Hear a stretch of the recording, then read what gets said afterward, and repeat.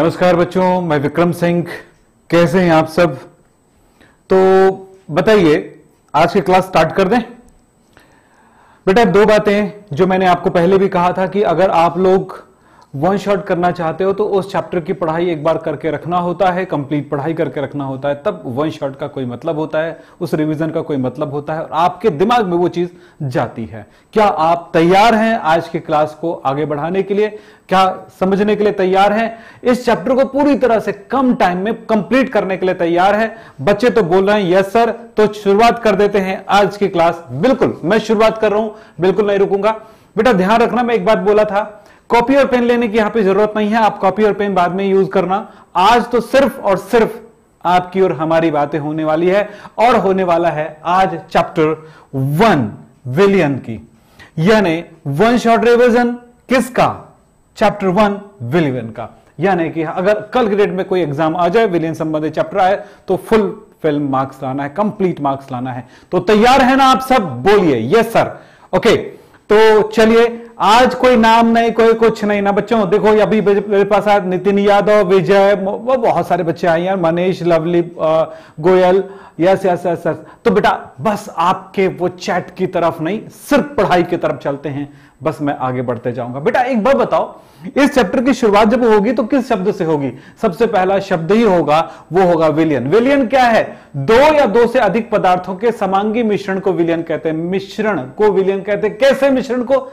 समांगी मिश्रण को विलियन कहते हैं। दो या दो से अधिक पदार्थों के समांगी मिश्रण। तो यही शब्द पर ध्यान देना। समांगी मिश्रण को विलियन कहते हैं। बात होगा विलियन। किसे कहेंगे? यस दूसरी बात कि विलियन में घटक होते हैं, यानी कि जिन पदार्थों को मिलाते हैं ना, विलियन बनता है, जैसे पानी और शक्कर से बना तो पानी घटक है, शक्कर एक घटक है। पानी, शक्कर, नमक सब मिला दिया तो किया तो ये घटक। तो जिन पदार्थों से विलियन बनता है, उसे हम घटक कहते हैं। तो घटक के आधार पर हम विलियन बनाने वाले पदार्थों को हम घटक कहते हैं, कंपोनेंट कहते हैं। यस अब कंपोनेंट एक कंपोनेंट दो, एक तो हो ही नहीं सकता। पानी शुद्ध है तो विलियन तो है ही नहीं है। पानी में शक्कर घुल गया, तब ये विलियन बना। तो इस तरह से दो घटक कम से कम होना ज़रूरी है। तो वे विलियन तो विलियन कितने प्रकार के हो जाएँगे? इस तरह से दो घटक वाला विलियन, द्विघटकीय विलियन, तीन घटक वाला विलियन, त्रिघटकीय विलियन, चार घटक वाला विलियन चतुष्घटकीय विलियन कहलाएगा। बिल्कुल विलियन के प्रकार आपको क्लियर हो चुके हैं। अब बात करता हूँ, बच्चों क्लियर है ना? एकदम, मेरे साथ चलते जाएगा रिवीजन हो रहा है भाई।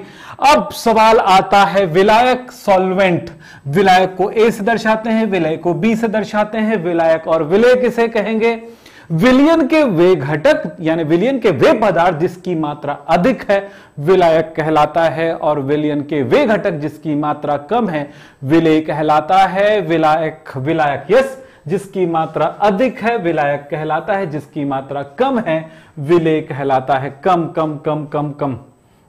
अल्प मात्रा में मिला है, वो विलय क्या विलय कहलाता है? विलायक सॉल्वेंट विलय सॉल्यूट। विलायक को ए से दर्शाते हो विलय को बी से दर्शाते हो। तो वो दो घटकों से बना हुआ है। तो बच्चे क्या बोल रहे हैं? भाई थोड़ा सा चैट देख लेते हैं। यस तो बच्चा क्लियर है बेटा? यस यस नो नो जो बोलना है बोलते जाइएगा। इसी तरह से पढ़ते चलिए। चलिए साहब, विलायक और विलय क्लियर हो चुका है। अब बात करते हैं विलियनों की सांद्रता को व्यक्त करना। विलियनों की सांद्रता को व्यक्त करना, विलियनों की सांद्रता को व्यक्त करने के लिए कौन से कौन से सांद्रता इकाइयाँ हैं, उनके बारे में थोड़ी बात कर लेते हैं। देखो भाई, सबसे महत्वपूर्ण, सबसे इंपॉर्टेंट जो सांद्रता इकाई है वो मोलरता है, जिसको मोलैरिटी कहते हैं, मोलैरिटी। दूसरा है मोललता, तीसरा है मोल प्रभाज। ये तीन के अंदर का, इसे मोल अंश या मोल प्रभाज कहते हैं, मोल प्रभाज भी कहते हैं, मोल प्रभाज या मोल फ्रैक्शन कहते हैं। बेटा, इसको कैपिटल एम से दर्शाते हैं, इसको स्मॉल एम से दर्शाते हैं, इसको एक्स से दर्शाते हैं। फिर इन सब के बारे में थोड़ी सी जानकारी देते हुए मैं दो और बातें बताऊँगा। प्रतिशत द्रव्यमान और पीपीएम ये भी आपके एग्ज़ाम में प्रश्न आते हैं। नॉर्मलता भी आता है, मैं ये भी लिख देता हूँ, छठवां नंबर नॉर्मलता भी आता है। तो इनके डिटेल आपको बस याद आ रहा है कि नहीं, बस याद रखना, इसको कैपिटल एन से दर्शाते हैं। ओके तो बताते जाइए यस बेटा, चले, आगे चलते हैं। भाई मोलर था क्या है? परिभाषा दूँगा। देखो, पूरा याद करना है। आपको, आज आपको लिखना नहीं है। मैं अक्सर बोलता हूँ ना कॉपी और पेन लेकर के बैठिए। आपको कुछ भी नहीं लिखना, बस उसको देखते जाना। कुछ चीज़ें मिस हो जाएगा, कुछ चीज़ें आगे बढ़ जाएँगी, जो भी होगा, लेकिन आपके दिमाग में रन करेगा। बेटा, आज भी पढ़ना इस वीडियो को सेव करके रखना है, इसके लिंक को सेव करके रखना है। और जब एग्ज़ाम के दिन आएगा, उससे पहले दिन इसको एक बार वीडियो देख लेना। कम टाइम पे कवर कर रहा हूँ। चलो, ध्यान देते हैं। मोलरता। मोलरता को कैपिटल एम से दर्शाते हैं। मोलरता होता है एक लीटर विलियन में उपस्थित विलय की मोलों की संख्या। एक लीटर विलियन में उपस्थित विलय की मोलों की संख्या को मोलरता कहते हैं। प्रति लीटर विलियन में उपस्थित, यानी एक लीटर पानी है, एक लीटर विलियन है, उसमें कितने विलय घुला हुआ है, विलय का मोल कितना घुला हुआ है? इसको दर्शाने के लिए कैपिटल एम से दर्शाते हैं। Capital M is equal to N B by V होगा। यही है इसका फॉर्मूला इस फॉर्मूले को डिटेल कर दो तो आपको मिलता है M is equal to N होगा W B into thousand by M B into V ये वी जो है, यहाँ पर लीटर में है और यहाँ पर एम में है। तो याद रखना ये फॉर्मूला। याद हो गया फॉर्मूला बेटा, याद आ रहा है कि नहीं आ रहा है? बस देखते जाइएगा। सारे फॉर्मूले आपको पता होनी चाहिए, कौन सी चीज़ें क्या है। विलय का मोल है, ये विलयन का आयतन है। ये विलय का द्रव्यमान है डी मतलब विलय ना? द्रव्यमान डब्ल्यू मतलब mass weight weight weight weight of B B का वेट है और ये है उसका अणुभार। बस क्लियर अब चलते मोलरता हो गया। मोललता के बाद दूसरा याद क्या रखना है? मोललता याद रखना है। तो मोललता क्या होता? है यहाँ पर लिखे हो, एक लीटर विलियन में उपस्थित। बस यही चेंज कर दो बेटा, एक लीटर को एक किलोग्राम। इसको एक किलोग्राम कर दो, इसको विलायक कर दो। इसको एक किलोग्राम कर दो, इसको विलायक कर दो। देखो मैंने कर दिया। एक किलोग्राम विलायक में उपस्थित विलय की मोलों की संख्या तो यहाँ पर हो जाएगा। इसे स्मॉल एम से दर्शाते हैं। Small M is equal to N B by ये विलायक का द्रव्यमान हो जाएगा के जी में। बिल्कुल आसान सा फॉर्मूला इसको डिटेल कर देते हैं।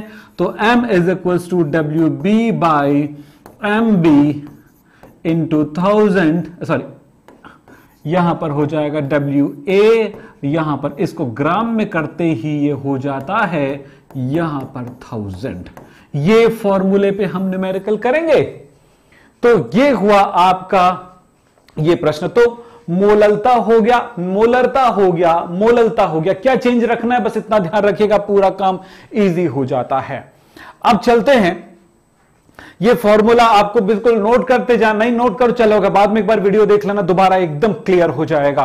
तो देखिए कितने बच्चे अभी देख रहे हैं, भाई, हमारी क्लास यस यस सारे बच्चे यस लाइक बटन दबा दीजिए बेटा। अगला पॉइंट हमारा आता है मोल प्रभाग एकदम आसान। प्रभाज मतलब एक में। प्रभाज मतलब एक में होता है सिंपल परिभाषाओं की तरफ़ जाऊँगा, कठिन परिभाषाओं की तरफ़ नहीं जाऊँगा। इसको मोल फ्रैक्शन भी कहते हैं। मोल सॉरी क्या कहते हैं? मोल फ्रैक्शन कहते हैं। मोल फ्रैक्शन मोल फ्रैक्शन कहा जाता है। यस तो मोल फ्रैक्शन इसको एक्स से दर्शाएँगे। किसी विलियन में किसी भी एक घटक का मोल प्रभाज बात करें। किसी विलियन में किसी एक घटक का मोल प्रभाज, उसके मोलों की संख्या तथा कुल मोलों की संख्या का अनुपात होता है।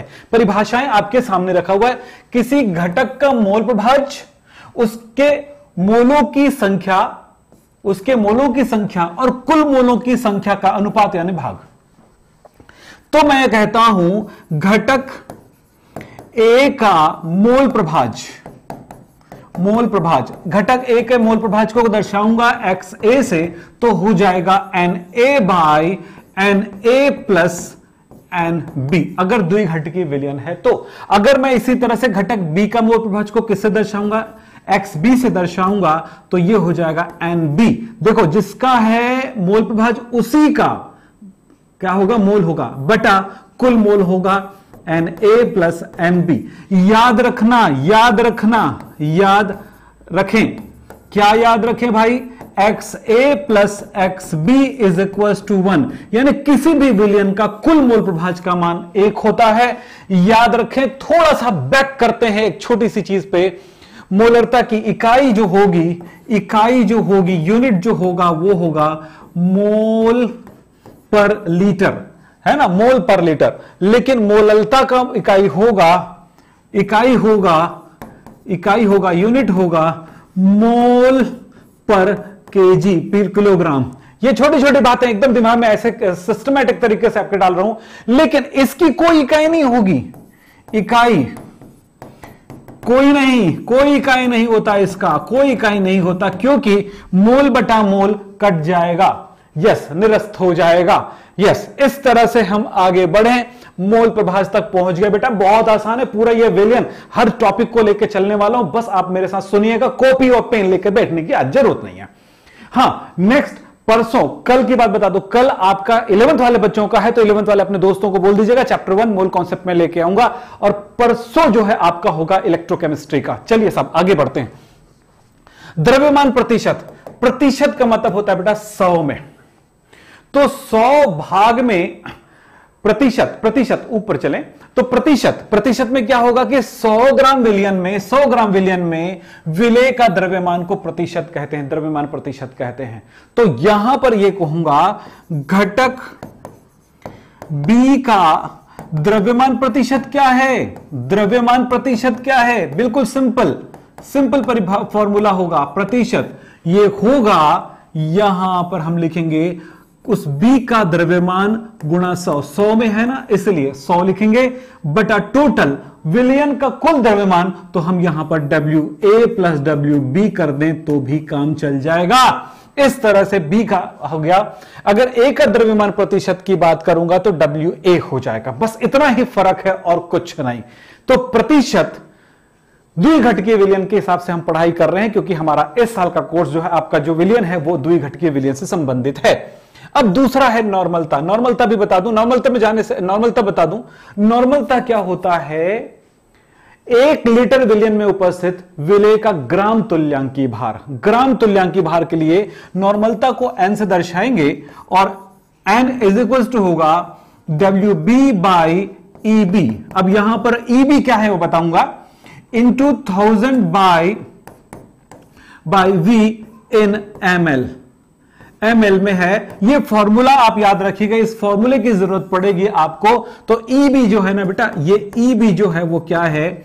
विलय का विलय का तुल्यांकी भार है। जिन बच्चों को तुल्यांकी भार के बारे में पता लगाना है, मेरा वो प्लेलिस्ट देख लेना विलियन वाला प्लेलिस्ट देख लेना। उसमें मैं तुल्यांकी भार को बड़े डिटेल में आपको समझाया हूँ, वहाँ पर देख लेना। अभी वन शॉट है, मैंने कहा था वन शॉट का मतलब होता है, बच्चा पहले पूरा वो चैप्टर पढ़ के आओ, पूरा समझ के आओ, एक शॉट में उनका रिविजन कर लेते हैं वन शॉट में। यस तो ये हुआ नॉर्मलता अब नॉर्मलता के बाद आएगा पार्ट्स पर मिलियन या पार्ट्स पर मिलियन यानी कि भाग प्रति दस लाख, भाग प्रति दस लाख। यानी ये कहूँगा कि दस लाख भागों में कितना द्रव्यमान है? दस लाख अगर ग्राम विलियन लिया मैंने दस ग्रा, लाख ग्राम विलियन लिया उसमें विले का कितना ग्राम घुला हुआ है? सिंपल सा तरीका होता है। तो इसका उपयोग कब किया जाता है? इस इकाई का जब विलियन में विले की बहुत ही कम मात्रा घुली होती है अत्यंत अल्प मात्रा घुला होता है, तभी इस इकाई का उपयोग किया जाता है। अब हम यहाँ पर बात करें कि इसका परिभाषा क्या होगा? तो प्रति 10 लाख भाग द्रव्यमान में उपस्थित विलय की भाग द्रव्यमानों की संख्या को कहा जाएगा। तो मैं यहाँ पे कहूँगा बी का पीपीएम कितना है? तो बी का पीपीएम होगा बी का द्रव्यमान गुणा 10 लाख, यानी कि 10 की घात 6 बाय यहाँ पर होगा विलियन का द्रव्यमान, विलियन का कुल द्रव्यमान। कुल द्रव्यमान। तो ये बेटा बड़ा आसान सा तरीका है। इसको पता लगाने का तो ये कब किया जाता है? इस बात के लिए बोला जाता है तो यहाँ पर इस बात को ज़रूर ध्यान रखेंगे।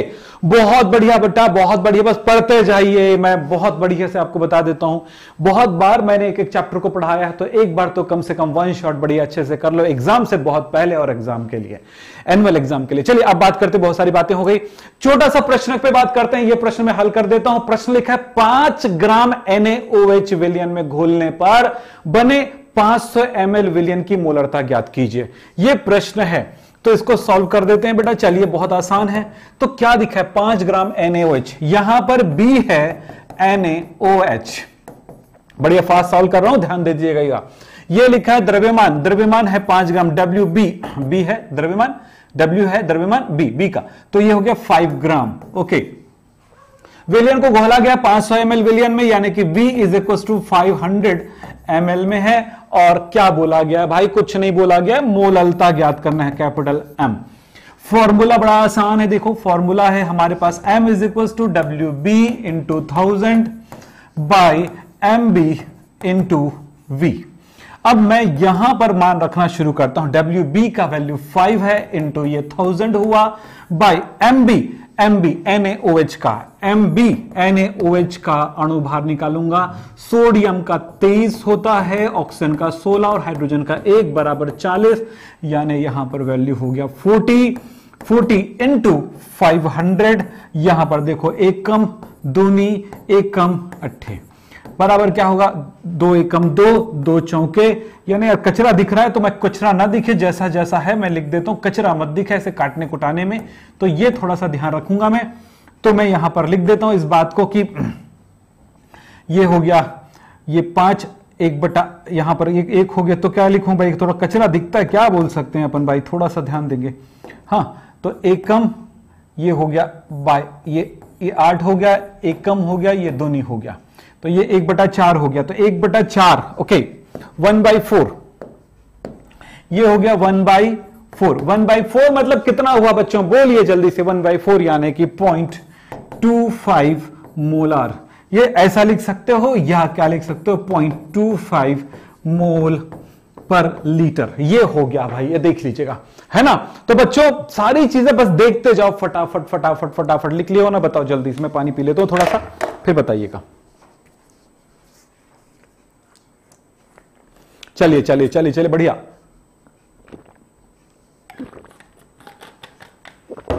चले आगे चलें। अब दूसरे प्रश्न भी मैं दे देता हूँ, एक तो साथ में हो जाएगा। लिखे 50 ग्राम।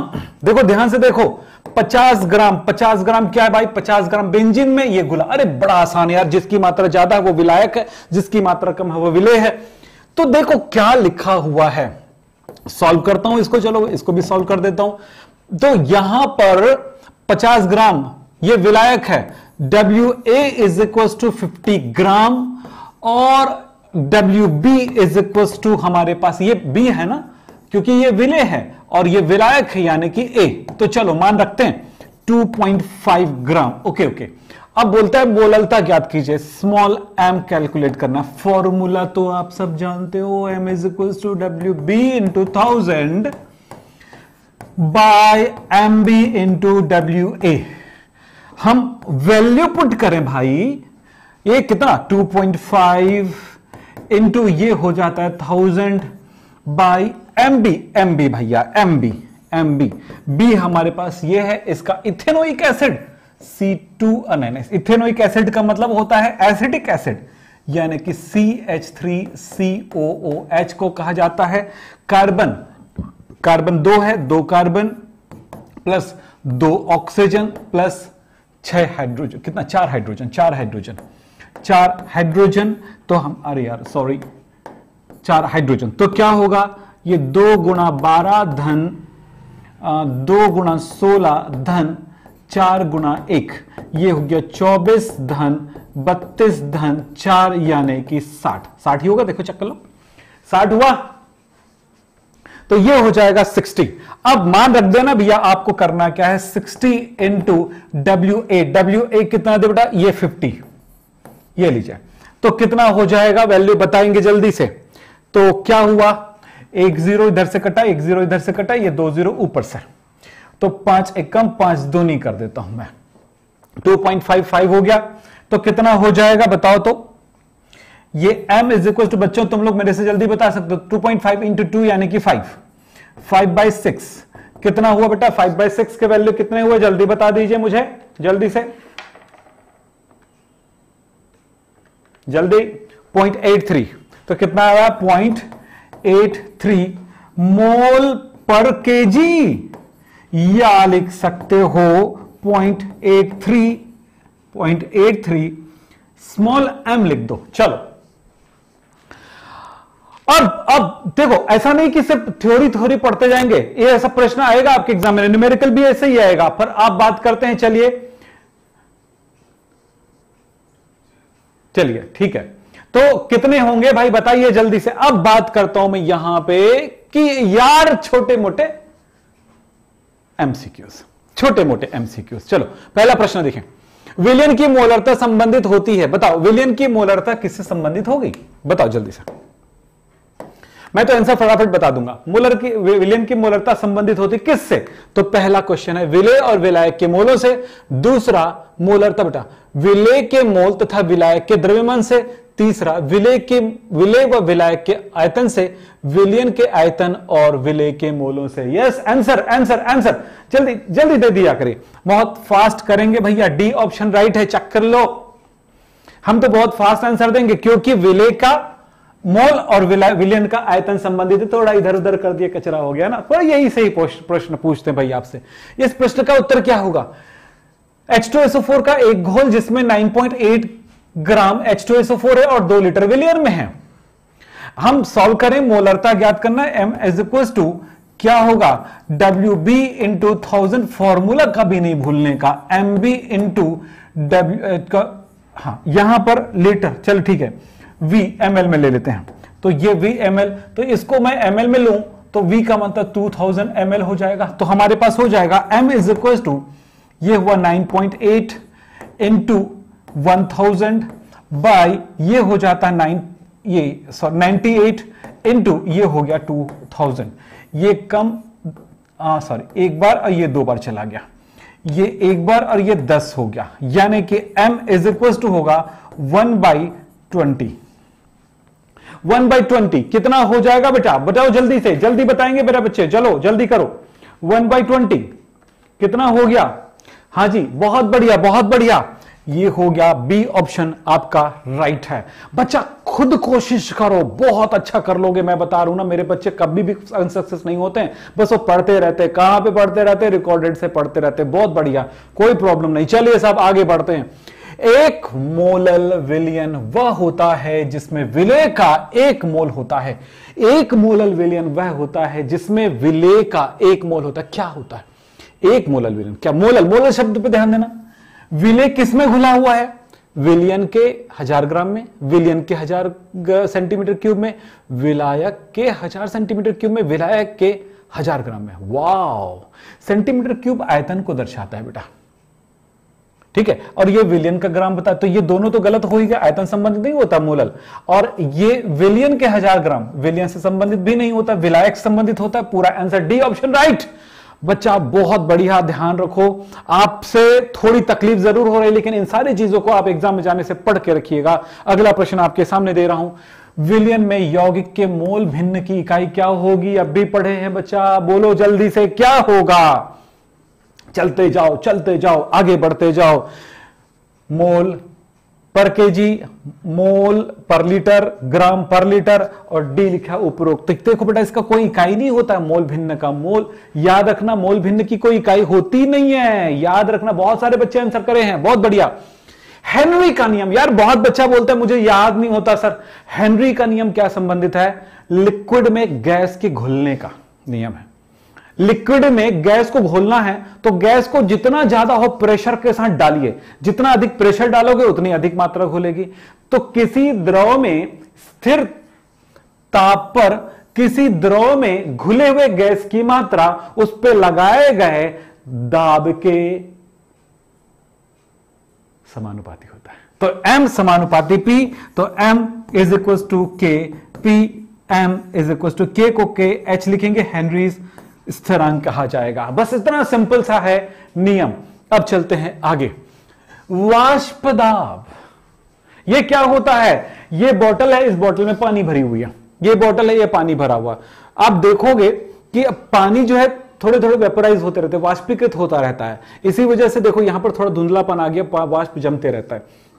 तो द्रव के द्वारा वाष्प में परिवर्तित होने के लिए जितनी दाब लगाई जाती है, द्रव की सतह की अणुएँ वाष्प में परिवर्तित होने के लिए निकलते रहते हैं। तो जितनी दाब लगती हैं, उस दाब को वाष्प दाब कहते हैं। सिंपल परिभाषा में आपके लिए बना के रखा हूँ। किसी द्रव के द्वारा वाष्प में परिवर्तित होने के लिए लगाए गए दाब को वाष्प दाब कहते हैं। बेटा जी, बिल्कुल सिंपल है। वाष्प दाब को प्रभावित करने वाले कारक, वाष्प दाब को प्रभावित करने वाले कारक कौन कौन से कारक होंगे? सिंपल दो कारकों पर ध्यान देंगे। लिख लो मत लिखो यार, प्रभावित होने वाले कारक। प्रभावित करने वाले कारक। वाष्प दाब को प्रभावित करने वाले कारक। वाले कारक। कौन कौन से कारक हैं भाई? पहला कारक है ताप और दूसरा कारक है सांद्रता। ध्यान देना अगर मैं इस बोतल का ताप, इस, इसके विलियन का तापमान बढ़ा दूँगा तो वाष्प बढ़ेगा। ताप बढ़ाने पर पर वाष्प दाब को पी से दर्शाते हैं बेटा। तो बढ़ाने पर बढ़ाने पर बढ़ता है, पी बढ़ता है। यानी क्या बढ़ता है? वाष्प दाब बढ़ता है। सांद्रता, इसमें नमक मिलाते जाऊँगा तो वाष्प दाब घटता जाएगा। अवाष्पशील अवाष्पशील विलय मिलाने पर मिलाने पर, आवाजपशील विलय मिलाने पर या आवाजपशील जितने ज़्यादा मिलाएँगे तो वाष्पदाब घटता है। यानी सांद्रता बढ़ाऊँगा तो वाष्पदाब घटता है। बिल्कुल सिंपल सी बातें ध्यान रखेंगे। अब आगे चलते हैं, जहाँ पे ज़रूरत है। वाष्पदाब को प्रभावित करने वाले कारक मैंने इसको यहीं पर उधर लिख दिया है।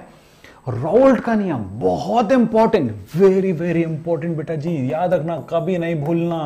बिल्कुल आसान सिंपल परिभाषा बता रहा हूँ। परिभाषाओं को तोड़ मोड़ के कठिन कठिन नहीं बनाने का, मेरे को सिंपल बना के देना है। तो देखो राउल्ट का नियम कहता है कि किसी वाष्पशील द्रव के विलियम में सिंपल सा कहता हूँ कि किसी भी द्रव का वाष्प दाब उसके मोल प्रभाज के समानुपाती होता है। सिंपल किसी भी द्रव का वाष्प दाब उसके मोल प्रभाज के समानुपाती होता है। विलायक का वाष्पदाब विलायक के मोल प्रभाज के समानुपाती होता है। सीधा सा कहूँगा। वाष्पशील द्रवों के विलयन में प्रत्येक घटक का वाष्पदाब उसके मोल प्रभाज के समानुपाती होती है। यानी कि पी ए समानुपाती, एक्स ए। तब सिंपल से बात हो जाएगा। P A is equal to K X K X A. देखो कितना सिंपल है। X A. ये इस आधार पर हम बात कर सकते हैं। लेकिन अगर हम ये बोलते हैं देखो बेटा ये ए मतलब क्या होता है? घटक ए यानी विलायक एक्स मतलब मोल प्रभाज पी मतलब दाब। भाई शुरू से देख रहे हो क्लास तो भी एकदम क्लियर हो जाएगा। तो बात समझ, समझ में आती है ये हो गया।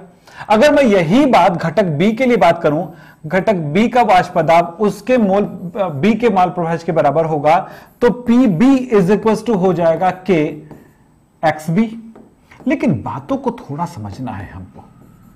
हमको यह समझना है कि के का मतलब क्या है। सो जो कि के का मतलब क्या है, अगर वो जानना है तो हमें एक काम करना होगा। इसको समीकरण एक मान लें, तब हम यहाँ पर कहते हैं, शुद्ध विलायक के लिए। शुद्ध विलायक के लिए क्या होगा? विलायक के लिए। शुद्ध विलायक के लिए बात होगी, पी ए का मान जो होगा, उसके पी नॉट ए के रूप में दर्शाएँगे। शुद्ध विलायक का वाष्पदाब है। और उसका मोल प्रभाज अगर विलायक है, शुद्ध है, उसमें विलय नहीं है तो उसका वैल्यू होगा एक। तब हम इन मानों को इनमें रख दें तो हो जाएगा P not A is equal to K into one तो P not A is equal to K यानी कि हमें पता चला के का मतलब होता है P नॉट ए हमें पता चला पी के का मतलब P नॉट होता है। तो समीकरण एक से, समीकरण एक में एक बात करते हैं, पी ए, और के की वैल्यू रख देते हैं, P not A into X A ये फॉर्मूला घटक ए के लिए। इसी प्रकार घटक बी के लिए बात करते हैं। इसी प्रकार घटक बी के लिए P A P B is equal to P B is equal to P not B into X B होगा। बहुत बढ़िया बच्चों, बहुत बढ़िया। देखो भाई, आप, मैं, आप थकोगे नहीं तो मैं बहुत सारी चीज़ें पढ़ा दूँगा। आपके थकान से मेरी थकान बढ़ जाती तो आप थको ही मत, आप करते जाओ बस। चलो, आगे बढ़ते जाओ थोड़ा थोड़ा मैं पानी पीते जाऊँगा, क्योंकि मेरी सबसे बड़ी परेशानी है पानी। ठीक है? बहुत बढ़िया बच्चा, बहुत बढ़िया।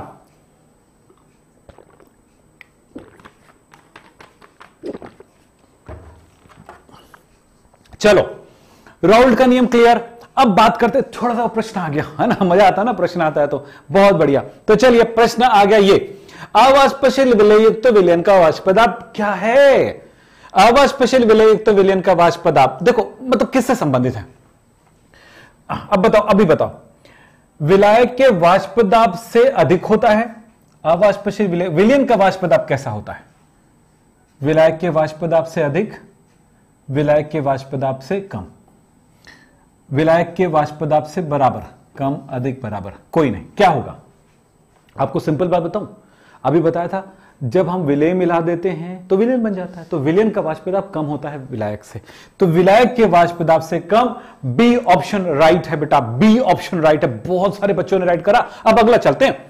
जब किसी पदार्थ को विलायक में घोला जाता है, जब किसी पदार्थ को विलायक में घोला जाता है तो विलायक का वाष्पदाब कम हो जाता है।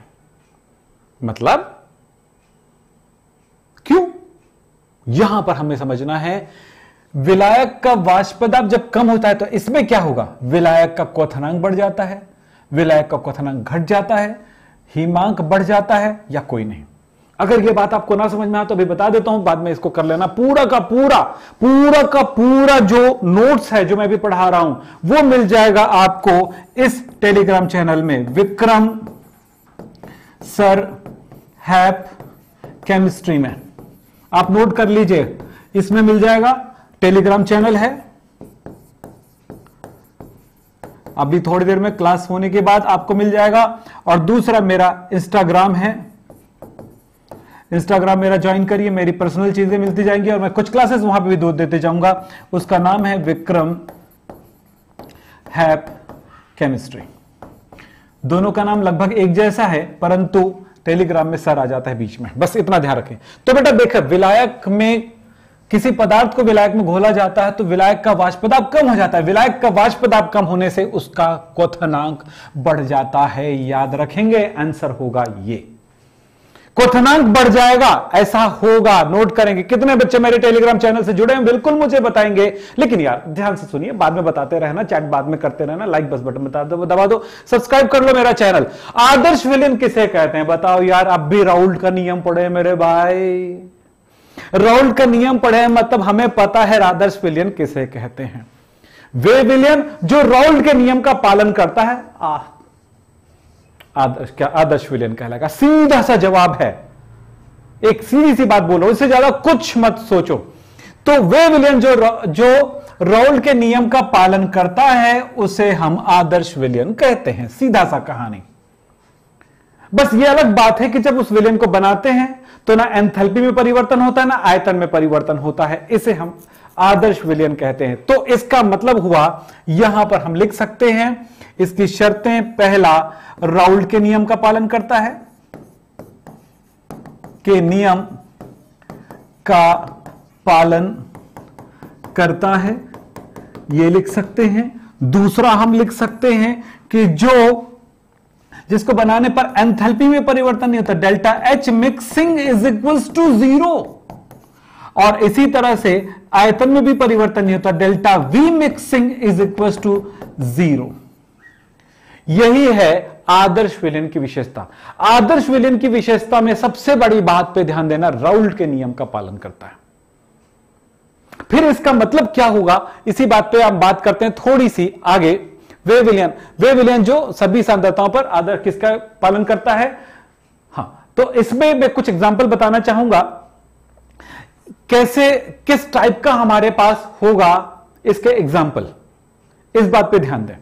इसका एग्ज़ाम्पल होना चाहिए कुछ इस तरह का। चलिए चलिए, जल्दी करिए।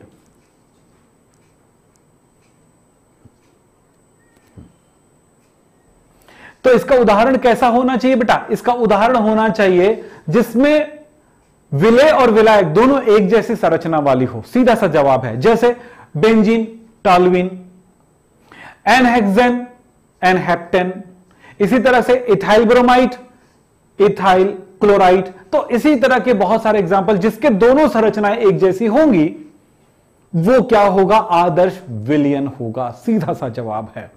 अब बात करता हूँ अनादर्श विलियन। वे विलियन जो राउल्ड के नियम का पालन नहीं करता है। तथा जिसके बनने पर एंथैल्पी और आयतन में परिवर्तन हो जाता है। राउल के नियम का पालन का मतलब क्या हुआ? इसको एक लाइन में मैं यहाँ पर और बताना चाहूँ तो ऐसे कह सकते हो P A is equal to P not A X A और P B is equal to P not B X B से दर्शा सकते हो इस बात को। तो मैंने यहाँ पर अनादर्श विलियन के बारे में बताया। अनादर्श विलयन में क्या कह सकते हो? जो राउल्ट के नियम का पालन नहीं करता है, यानी कि P A is equal to not P not A X A and P B not is equals to P not A X P not B X B होगा। दूसरी बात है enthalpy delta H mixing is equals to not zero and third है delta H delta V delta V यानी कि आयतन परिवर्तन हो जाता है। इसका मतलब है एंथैल्पी परिवर्तन हो जाता है। इसका मतलब है आयतन परिवर्तन हो जाता है, यानी ज़ीरो नहीं रहता है। तो यह कहलाता है जो राउल्ट के नियम का पालन नहीं करते ना दोनों में परिवर्तन हो जाता है। सिंपल बात, ध्यान रखेंगे। तो इस प्रकार से हमने अनादर्श विलयन को देखा। अनादर्श विलयन के कुछ एग्जांपल्स मैं आपको ज़रूर बताऊँगा, ध्यान रखेंगे। अनादर्श विलयन दो प्रकार का मिलेगा। आपको यह पहला मिलेगा, धनात्मक विचलन प्रदर्शित करने वाला अनादर्श विलयन, और दूसरा मिलेगा, ऋणात्मक विचलन प्रदर्शित करने वाले अनादर्श विलयन। बेटा, इसके एग्ज़ाम्पल के लिए मैं बोलूँगा, आप अपने बुक ज़रूर एक बार देखें, और उसकी, उसको कॉपी में नोट ज़रूर करें। तो मैं कुछ एग्जाम्पल्स बता रहा हूँ, आप ध्यान से नोट कर सकते हैं।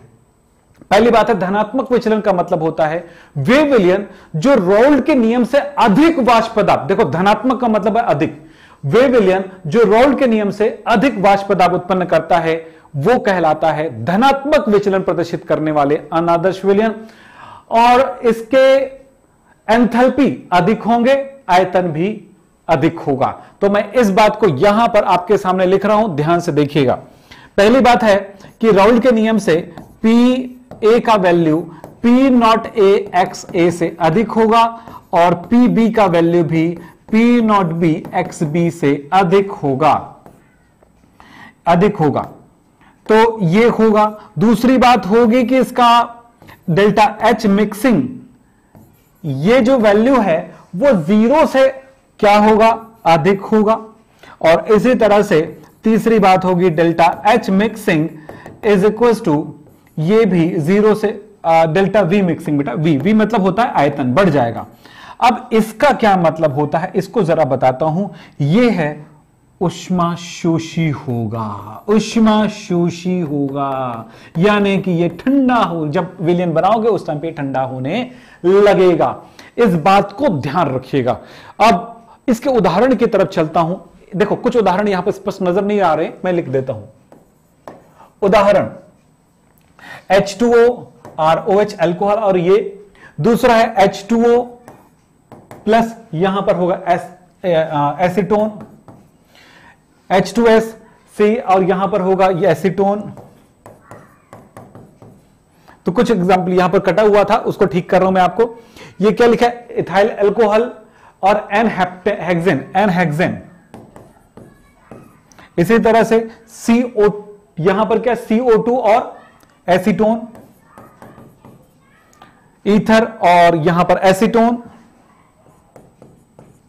एसिड ईथर और एसीटोन, कार्बन टेट्राक्लोराइड और क्लोरोफॉर्म, ये C C L four C H C L four यहाँ पर लिख देता हूँ सी सी सी एल फोर और ये क्लोरोफॉर्म। ये कुछ नहीं है ना, ये ध्यान रखना। कार्बन टेट्राक्लोराइड और बेंजीन। और इसी तरह से लास्ट में आपको बता दूँ, एसीटोन और benzene. C H three C O C H three चलिए, ठीक। तो ये है आपका, इसका एग्ज़ाम्पल किसका? तो बेटा, इतने सारे याद तो नहीं रहेंगे, पर इसका सीधा सा मतलब होता है, जब इन दोनों के बीच में बॉन्डिंग बहुत स्ट्रोंग नहीं होती है तो धनात्मक विचलन होता है। अब बात करो ऋणात्मक विचलन वाले अनादर्श विलयन। ऋणात्मक विचलन प्रदर्शित करने वाले अनादर्श विलयन वे विलयन होते हैं, जो राउल्ट के नियम से कम वाष्पदाब उत्पन्न करता है। कम वाष्पदाब उत्पन्न करने का क्या मतलब होता है? तो यह पहला होगा कि ये पी ए कम उत्पन्न करेगा P not A X A से, और ये पी बी कम पैदा करेगा P not B X B से। दूसरी बात होगी, यहाँ पर विचलन है तो यहाँ पर डेल्टा एच मिक्सिंग वैल्यू जो होगा ज़ीरो से कम होगा। यानी कि उष्माक्षेपी होगा बेटा, उष्माक्षेपी, यानी एक्सोथर्मिक उष्माक्षेपी होगा। नोट करेंगे बहुत सारी टॉपिक नहीं बचा बहुत कम बचा हुआ बहुत अच्छे समझ में आएगा फिर। और इसके बाद होगा डेल्टा वी मिक्सिंग ज़ीरो यानी कि आयतन घट जाएगा। आयतन घट जाएगा। तो एंथैल्पी और आयतन घट जा क्या ऋणात्मक है? घट जाती है घट जाती है। कम हाँ, सब कम है। से ये कम अधिक नहीं कम नहीं गलत लिखा है कम। ठीक है? धनात्मक में अधिक ऋणात्मक में कम होता है। उदाहरण आपको बता देता हूँ। यहाँ पर है उदाहरण। उदाहरण मैं दे रहा हूँ। देखिए, ध्यान से सुनिएगा। एक है क्लोरोफॉर्म और बेंजीन। दूसरा है जल और एसिटिक एसिड नाइट्रिक एसिड। तीसरा है क्लोरोफॉर्म और acetone C H C L three और C H three C O C H three इसी तरह से एसीटोन और ये एनिलिन और एल प्लस एच इसमें क्या होता है? बॉन्डिंग स्ट्रांग हो जाता है अणुओं के बीच में। तो ये होगा। बेटा, आदर्श विलन और आदर्श विलन का मैंने नोट्स दे दिया है। इस नोट्स को ज़रूर पढ़ देना। इनमें अंतर आप ज़रूर देख लेना। मैंने दे दिया है। आप इस नोट्स को प्राप्त कर लीजिएगा बेटा। यहाँ पे अभी नहीं। आगे की चीज़ों को पढ़ा ज़रूर रहा हूँ। और दूसरा है, धनात्मक विचरण और ऋणात्मक विचरण में भी अंतर। आदर्श विलयन, अनादर्श विलयन में अंतर और ऋणात्मक और धनात्मक विचरण में अंतर। ये नोट्स मैं आपको दे रहा हूँ आपके फ़ायदे के लिए। ये ज़रूर करिएगा। फिर अगला टॉपिक है अणुसंख्यक गुणधर्म। एक बार देखो अणुसंख्यक गुणधर्म का मतलब क्या होता है ज़रूर मुझे बताओ एक बार। चलिए।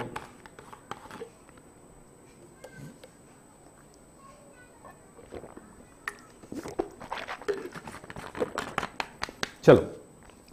बेटा अणुसंख्य गुणधर्म का मतलब होता है विलयन के वे गुण जो अणुओं की संख्या पर निर्भर करता है। विलयन की वे गुण जो विलय की अणुओं की संख्या पर निर्भर करता है अणुसंख्यक अणुओं की संख्या पर निर्भर करने वाला गुण। अनुसंख्यक मतलब अणुओं की संख्या क्वालिटेटिव प्रॉपर्टीज़ तो विलय की अणुओं की संख्या पर निर्भर करने वाला गुण अणुसंख्यक गुण धर्म कहलाता है। ये चार होते हैं। कौन कौन से? वाष्पदाब में आपेक्षिक अवनमन, हिमांक अवनम, वाष्पदाब में आपेक्षिक अवनमन कुथनांक उन्नयन, हिमक अवनमन और परासरण दाब ये चार होते हैं। इन चारों को एक एक करके हम देखें, आगे चलें। वाष्पदाब में आपेक्षिक अवनमन। वाष्पदाब में आपेक्षिक अवनमन को हम पढ़ लें एक बार। देखो बेटा, सबसे पहली बात है ये राउल्ट के नियम से संबंधित है। किसी विलयन का वाष्पशील द्रव में कोई अवाष्पशील विलय मिला दिया जाए तो विलायक का वाष्पदाब कम हो जाता है। यानी अवाष्पशील विलायक मिलाने पर वाष्पदाब कम हो जाता है। तब इस स्थिति में हम राउल्ट के नियम को लागू कर सकते हैं। राउल्ट के नियम के अनुसार क्या होगा? किसी विलियन का वाष्पदाब उसके विलायक के वाष्पदाब से संबंधित होगा। तो विलियन का वाष्पदाब उसके विलायक के वाष्पदाब से संबंधित होता है। क्योंकि अगर वाष्पशील है विलायक तो और अवाष्पशील विलय तो तो इस स्थिति में यह संबंध होता है। तब इसी जगह पर हम कहते हैं, किसी विलायक का वाष्पदाब उसके मोल प्रभाज के समानुपाती है। जरा समझेंगे फटाफट लिख रहा हूँ ना? इस लाइन को आपकी बुक में ऐसा कुछ लिखा हुआ मिलेगा, जरा ध्यान दीजिएगा। तो सीधा सीधा मैं सिंपल जो हमने बात किया था, उस बात को लेकर राउल्ट के नियम के अनुसार, एक मिनट यार। राउल्ट का नियम राउल्ट के नियम में क्या लिखे थे? पी समानुपाती एक्स ए तो P A is equal to K X A अब ये समीकरण एक हो गया। विलायक शुद्ध हो तो क्या होता है शुद्ध विलायक के लिए क्या बात करते हैं बताओ तो। एक बार दोबारा इस चीज़ को थोड़ा सा ले लेते हैं। शुद्ध विलायक लेने पर क्या हो जाता है? शुद्ध विलायक लेने पर पी ए का मान हो जाता है पी नॉट ए के बराबर और एक्स ए का मान हो जाता है वन। एक्स ए का मान कितना हो जाता है? वन। तो वन की स्थिति में क्या देखने को मिलेगा बेटा? यहाँ पर ये फॉर्मूला कन्वर्ट चेंज हो जाएगा। पी ए होगा, पी नॉट ए के एक्स ए का मान हो जाएगा वन। एक्स ए का मान हो जाएगा वन। तो उस स्थिति में हमारे पास हो गया पी नॉट ए के की वैल्यू। तो के का मान रखने पर के का मान अगर हम रख रहे हैं तो हमें क्या मिलेगा? देखो के का मान हम इसमें रखते हैं तो क्या मिलेगा? P A is equal to P not A X A मिलेगा। तो यह समीकरण हमारे लिए दूसरा हुआ राउल्ट के नियम के अनुसार यह समीकरण हमने प्राप्त किया। इस समीकरण को हम ले लेंगे वाष्प दाब में आपेक्षिक अवनमन तक ले जाना है। तो चलो, ले चलें। आप जानते हो ना, चूँकि क्या होता है? X A plus X B is equal to one तो X A is equal to क्या हो जाएगा? One minus X B. फॉर्मूले में वैल्यू कर देते हैं, पुट कर देते हैं। P A, P not A, और यहाँ पर होगा एक्स ए का वैल्यू क्या होगा? One minus X B. तब बताओ, P A is equal to P not A minus P not A X B होगा, बोलो होगा। तब हमें एक्स बी को बाहर निकालना तो सिंपल तरीका अपनाता हूँ। इसको इधर ले आता हूँ तो क्या मिलेगा? पी ए प्लस, ये माइनस प्लस हो जाएगा। P not A X B हो जाएगा, फिर ये हो जाएगा पी नॉट ए अब बताओ, मुझे एक्स बी को बाहर निकालना है ना तो मैं इसको उधर ले जाता हूँ। तो क्या मिलेगा देखो तो। P not A minus P A ये उधर चला गया। अब यहाँ पर बचा मेरे पास एक्स बी और एक्स बी से जब इधर आएगा पी नॉट ए मिलेगा। यहाँ पर यही बात कहा जा रहा है कि X B is equal to मुझे मिला X B is equal to मुझे मिला P not A minus P A is equal to by P not A इसको कहेंगे इसको कहेंगे, इसका क्या मतलब हुआ? इसका मतलब हुआ कि कि किसी अवाष्पशील युक्त अवाष्प, मैं थ्योरी लिख रहा हूँ, लिखिएगा, देखिएगा, वह अवाष्प शील युक्त, अवाष्पशील युक्त, विले, अवाष्पशील युक्त विले, विलियन, युक्त विले, सॉरी, अवाष्पशील युक्त विलियन, अवाष्पशील सॉरी, अवाष्पशील विले युक्त विलियन। बेटा, मैं गलत थोड़ा सा हड़बड़ी हड़बड़ी में कब हो जाता अवाष्पशील विले युक्त मतलब उपस्थित उसके उपस्थित। युक्त विलियन के वाष्पदाब में में आपेक्षिक अवनमन अवनमन, इसको कहते हैं वाष्पदाब में आपेक्षिक अवनमन। वाष्पदाब में आपेक्षिक अवनमन विलय के मोल प्रभाज के बराबर होता है।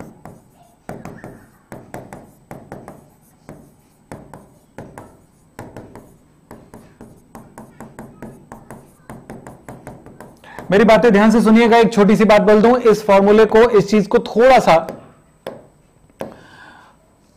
सॉल्व कर दें एक्स बी को तो हमें मिलेगा W B by M B into W A ऊपर आ जाएगा M A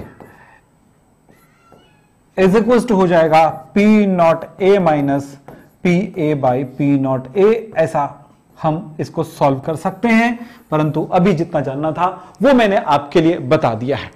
तो इस तरह से आपका एक रिवीजन हो जा रहा है, बहुत शॉर्ट रिवीजन हो जा रहा है, अच्छे से रिवीजन हो जा रहा है, अच्छे से रिवीजन हो जा रहा है। तो चलिए, अब आगे बढ़ते हैं बच्चा। बहुत बढ़िया, आप लोग बहुत अच्छे से कर रहे हो। ऐसे ही करते जाना, बस सुनते जाना और करते जाना बच्चा। बहुत अच्छा कर लेंगे। अब मैं काम की बातें थोड़ा सा क्विज बीच बीच में क्विज ले आ रहा हूँ ना तो आप बताने की कोशिश करिएगा। चलो, पहला प्रश्न आपके सामने है। निम्न में निम्नलिखित में से कौन सा अनुसंख्यक गुणधर्म नहीं? अभी तो देखे थे अनुसंख्यक गुणधर्म कौन कौन सा होता है? तो इनमें से कौन कौन सा अनुसंख्यक गुणधर्म नहीं है? बताइए इसमें से। वाष्पदाब अवनमन, परासरण दाब, हिमांक अवनमन या क्वथनांक उन्नयन। कौन सा अणुसंख्यक गुणधर्म नहीं है? बताइए जल्दी से भाई। बड़ा आसान प्रश्न है, बताइए जल्दी से। बहुत अच्छा लगेगा, आप बताएँगे तो। चलो, बताओ। कौन सा नहीं है?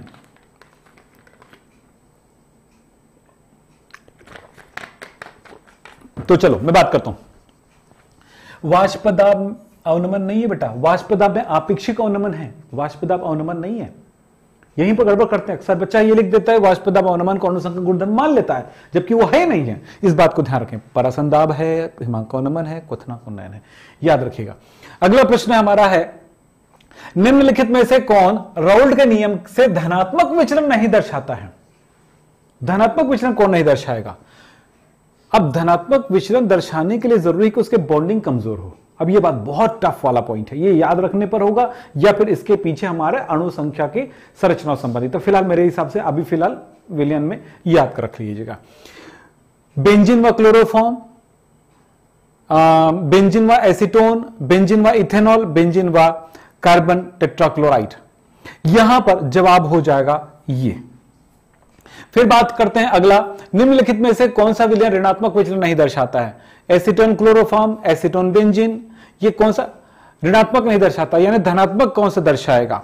तो इसमें हम देख लें तो इसमें जवाब हो जाएगा आपका क्लोरोफॉर्म, बेंजिन। ये कुछ क्वेश्चंस को मैंने इस तरह दिया। अब बात करता हूँ मैं क्वथनांक उन्नयन, यानी वाष्प अणुसंख्यक गुणधर्मों की तरफ़।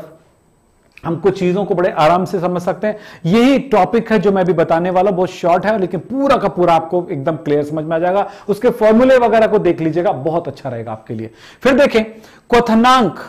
क्वथनांक मतलब होता है, वह ताप जिस पर किसी भी द्रव का वाष्प दाब एक वायुमंडली हो जाता है। वह ताप जिस पर, वह ताप जिस पर किसी द्रव का वाष्प दाब एक वायुमंडली हो जाता है बॉइलिंग पॉइंट कहते हैं बीपी बस। चलिए, क्वथनांक उन्नयन। जब किसी विलियन में अवाष्पशील विलय मिला देते हैं, यानी ऐसा विलय मिलाते जो वाष्प में परिवर्तित नहीं होते हैं, तब उस विलयन का क्वथनांक बढ़ जाता है। उसका वाष्प पदार्थ घट जाने की वजह से क्वथनांक बढ़ जाता है। क्वथनांक बढ़ जाता है, तब यहाँ पर उसे कहेंगे क्वथनांक उन्नयन। यानी इस स्थिति में क्वथनांक उन्नयन को दर्शाया जाता है, डेल्टा टीबी से दर्शाते हैं। तो क्वथनांक उन्नयन होगा, विलायक का क्वथनांक। सॉरी क्या हो, अधिक हो जाता है? विलियन का क्वथनांक अधिक हो जाता है। तो विलियन का क्वथनांक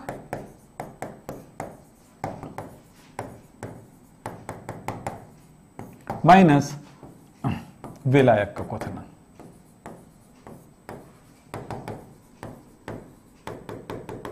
दस बस, इतना ही कहानी। और क्वथनांक फिर क्या बात होगा? तब इसको परिभाषित कुछ ऐसा करेंगे। विलियन के क्वथनांक में उन्नयन क्वथनांक में उन्नयन मोलल सांद्रण के समानुपाती होता है बच्चा तो ध्यान रखेंगे। क्वथनांक उन्नयन, समानुपाती मोललता तो भाई delta TB is equal to K B और मोललता का फॉर्मूला लगा दीजिए। मोललता का फॉर्मूला है W B into thousand by M B into W A बस मिल गया इन ग्राम। ये लीजिए। हो गया। हम इसके साथ बस इतने फॉर्मूले के साथ काम करेंगे और चलते हैं। अब हिमांक में अवनमन हिमांक में अवनमन मतलब क्या होता है? जिस तापमान पर किसी द्रव का वाष्प दाब उनकी ठोस के वाष्प दाब के बराबर यानी तापमान कम करेंगे तो जब वो ठोस में परिवर्तित होने वाला होगा, उस तापमान को हिमांक कहते हैं। तो क्या होगा, जब किसी विलयन में हम क्या मिलाएँगे? अवाष्पशील विलय मिलाते हैं तो उसका हिमांक कम हो जाता है। यानी जिस तापमान पर कोई द्रव बर्फ़ में परिवर्तित होती है, उससे कम ताप की आवश्यकता होती है तो इस तरह से हिमांक में अवनमन होगा। हिमांक में अवनमन को हम दर्शाएँगे डेल्टा टी एफ़ से, और डेल्टा टी एफ़ समानुपाती एम होगा तो delta T F is equal to K F और एम की वैल्यू क्या होगा? W B into thousand by M B into W A in gram. बेटा, इस चैप्टर के सारे संपूर्ण जो सबसे इंपॉर्टेंट टॉपिक था, वो हो चुका है। एक और टॉपिक है परासरण संबंधित बात करते हैं। लेकिन एक प्रश्न हल कर लेते हैं यार, तब मज़ा आता है, नहीं ना? प्रश्न जब तक नहीं करेंगे न्यूमेरिकल इस चैप्टर का न्यूमेरिकल जान है बेटा। इससे संबंधित प्रश्न आते हैं आपके पास। देखो, कितना आसान प्रश्न है।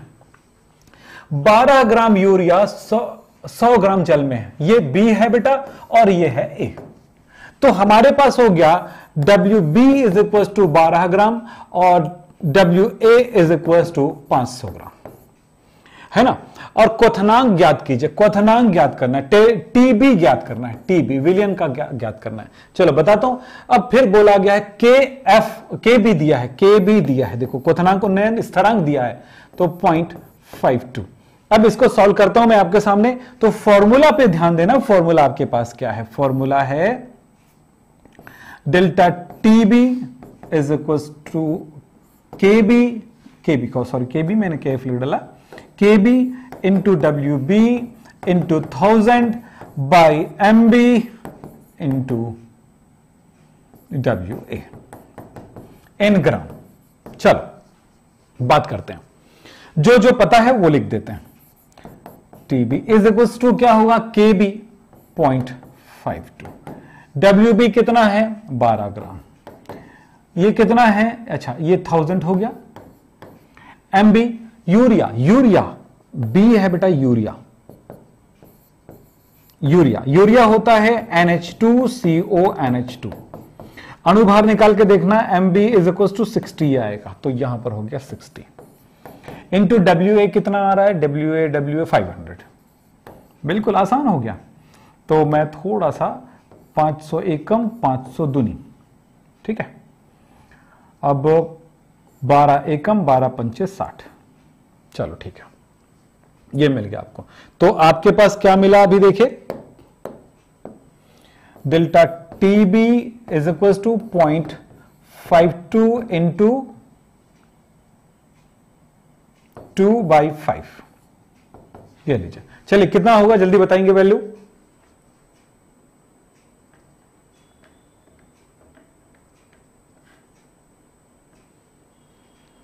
बोलो।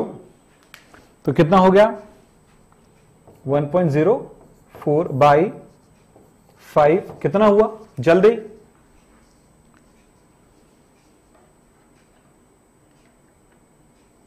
कितना हुआ बेटा? Point two zero eight. कितना हुआ? Point two zero eight. अब इन्होंने बोला है विलियन का क्वथनांक। विलियन का क्वथनांक क्वथनांक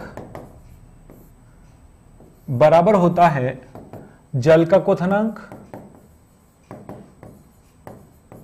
जल का क्वथनांक। ठीक से लिख दो यार, मज़ा नहीं आ रहा है अच्छा नहीं दिख रहा है। क्वथनांक plus delta T B. Oh sorry, ये लीजिए। तो क्या बना? तो विलियन का जल का क्वथनांक होता है 100 डिग्री सेल्सियस, प्लस इसका कितना है? पॉइंट टू ज़ीरो एट, यानी कि वैल्यू हो गया ये point two zero eight degree Celsius. ये है आंसर। ऐसे ही बनाना है बच्चों।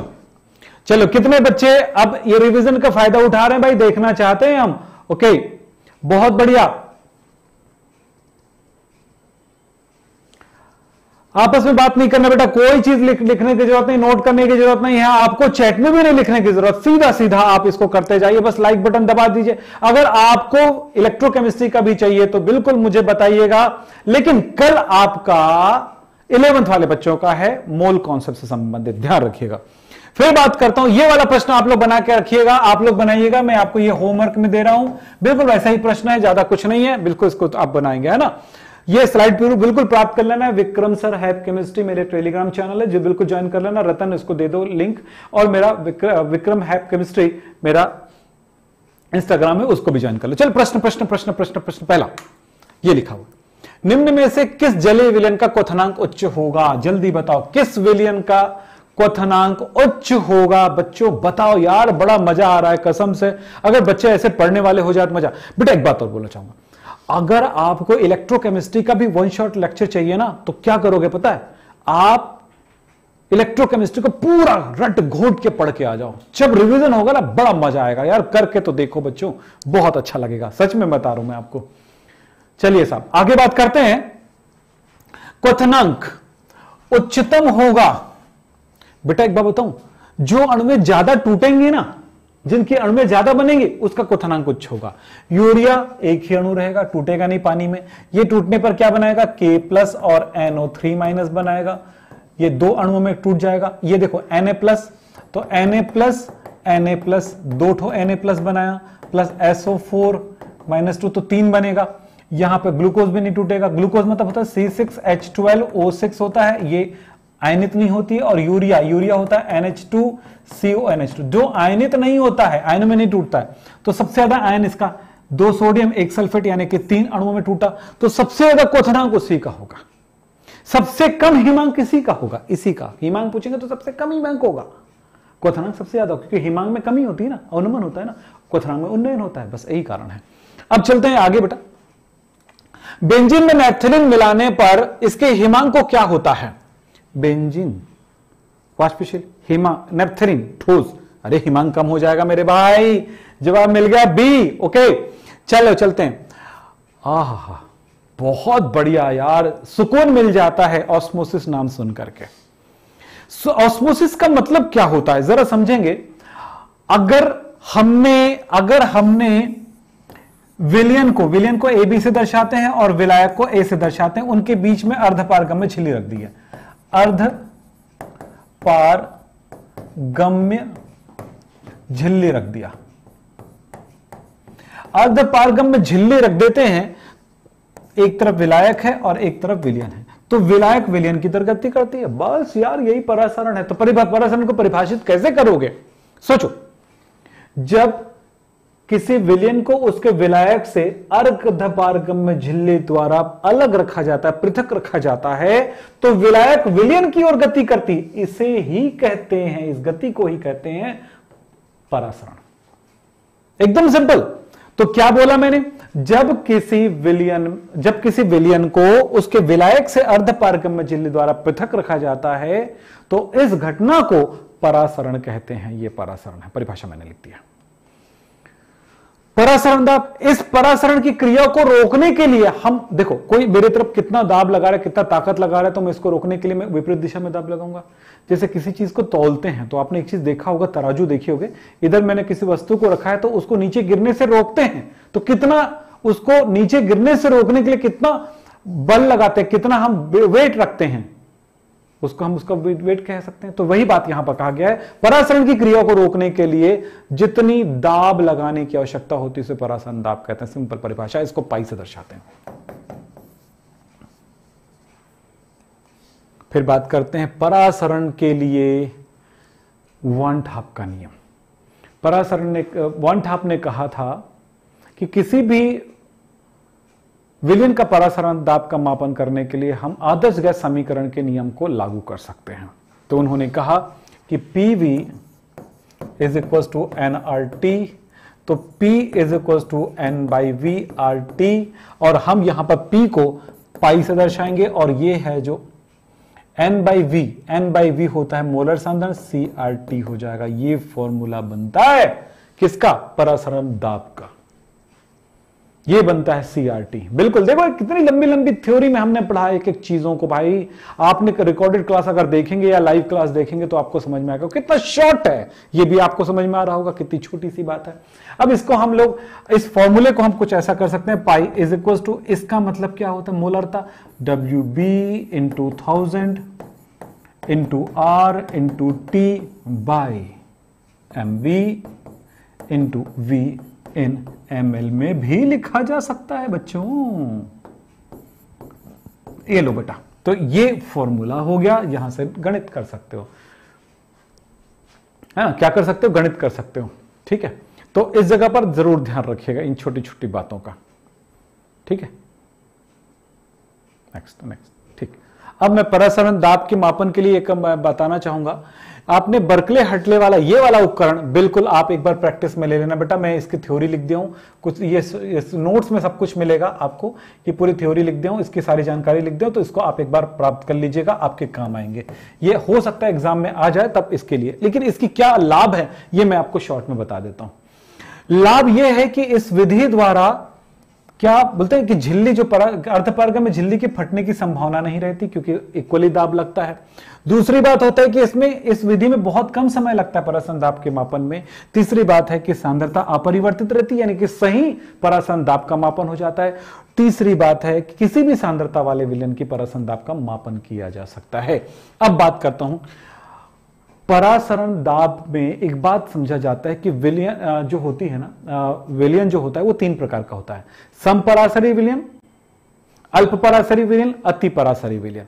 सम परासरी विलियन वे विलियन जिसका परासरण दाब किसी दूसरे विलियन के परासरण दाब के बराबर है। तो हम उन दोनों को कहेंगे सम परा दो विलियन परासरण दाब बराबर सम परासरी विलियन। ये दोनों सम परासरी विलियन है। दूसरी बात होगी उच्च परासरी विलियन निम्न परासरी विलियन। उच्च परासरी विलियन वे विलियन जिसका परासरण दाब अधिक होता है पर, उच्च परासरी जिसका विलियन का दाब कम होता है परासरण दाब कम होता है उसको हम कम परासरी विलियन कहते हैं अल्प परासरी विलियन कहते हैं।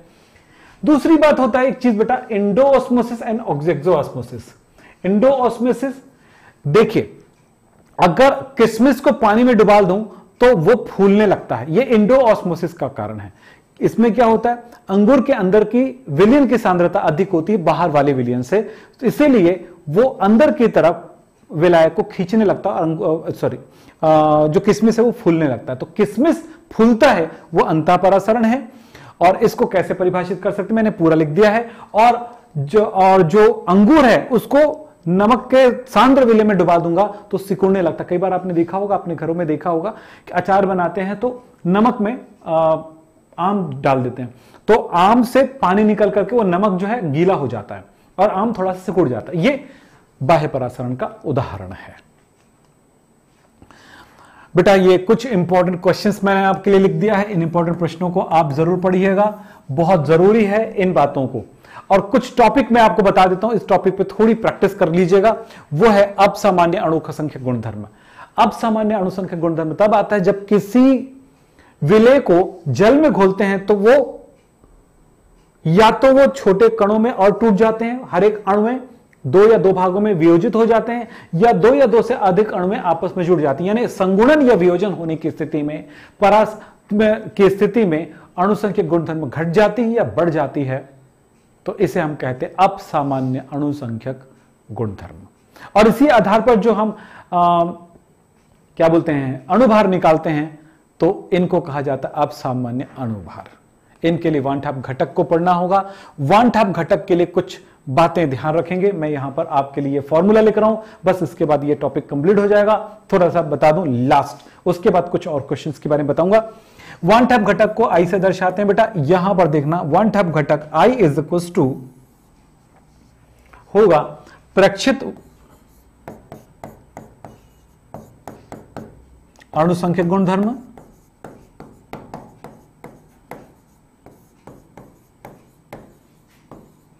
और दूसरा होगा यहाँ पर सामान्य अणुसंख्यक गुणधर्म।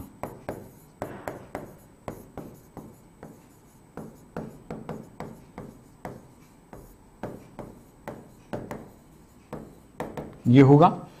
दूसरा आई के लिए वैल्यू होता है यहाँ पर, दूसरी बात है सामान्य अणुभार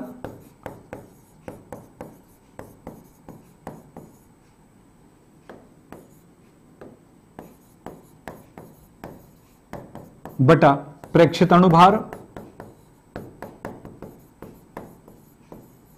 इसको ऐसे भी लिखते हैं। M calculated by M observe ठीक है? और थर्ड होगा आई इज़ इक्वल टू संगुणन या वियोजन के पश्चात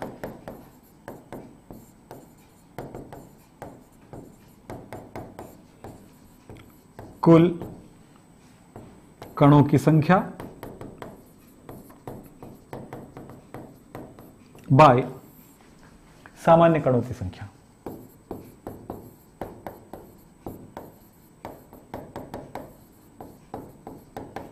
तो बताइए आप लोगों के आज की क्लास में रिवीजन हो पाया कि नहीं? मैं हंड्रेड परसेंट रिविजन और एक बार हम लोग एग्ज़ाम से पहले एक बार और देंगे। आप सबको पता होगा, एक वन शॉट देंगे मैराथन टाइप का देंगे, जिसमें बहुत सारी चीज़ों को और सॉल्व कराया जाएगा। क्या आपको लगता है कि आप इसके लिए तैयार थे और क्या आपको अच्छा लगा? नहीं लगा? मुझे ज़रूर बताएँ। हमें कमेंट बॉक्स में बताएँ ताकि हम कर सके। और थोड़ी सी बात है कि लाइक कर दें बेटा। चैनल सब्सक्राइब नहीं किया तो सब्सक्राइब करो ताकि हमारा हौसला बढ़े और आपके लिए बहुत अच्छे से और क्लास दे सकें। तो बताओ, इतना, देखो, कम टाइम पे एक घंटे की क्लास के अंदर ही हमें सब कुछ देना था तो ये हमने दिया। और आपकी पूरी रिवीजन हो गई बेटा। इस वीडियो को आप शेयर करें अपने दोस्तों को और इस वीडियो को आप सेव करके रखें इसके लिंक को। जब भी आपको इस चैप्टर की रिवीजन करना हो तो इस चीज़ को बिल्कुल एक बार देख ले। इंपॉर्टेंट क्वेश्चन का पूरा लिस्ट लेके आऊँगा। क्या क्या चाहिए क्या क्या नहीं चाहिए, वो मुझे ज़रूर बताना। कुछ बच्चों ने लिखा हंड्रेड क्लियर है। तो बेटा, एक बार याद रखना। वन शॉर्ट रिविजन यानी आपकी पूरी तैयारी होके आना ज़रूरी है आपको। अगर आप वो करके नहीं आते हैं तब कैसे आप सीख पाएँगे? कैसे आप वन शॉट को समझ पाएँगे?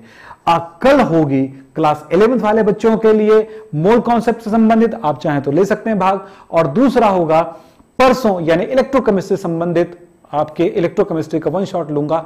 तो बच्चों, बताइए, ये विक्रम सर का वन शॉट क्लास था, पसंद आया? थैंक यू लाइक से बटन दबा दो बेटा, ताकि हमारे, हमसे ऊपर जो लोग होते हैं, वो हमें शाबाशी दें। Thank you thank you very much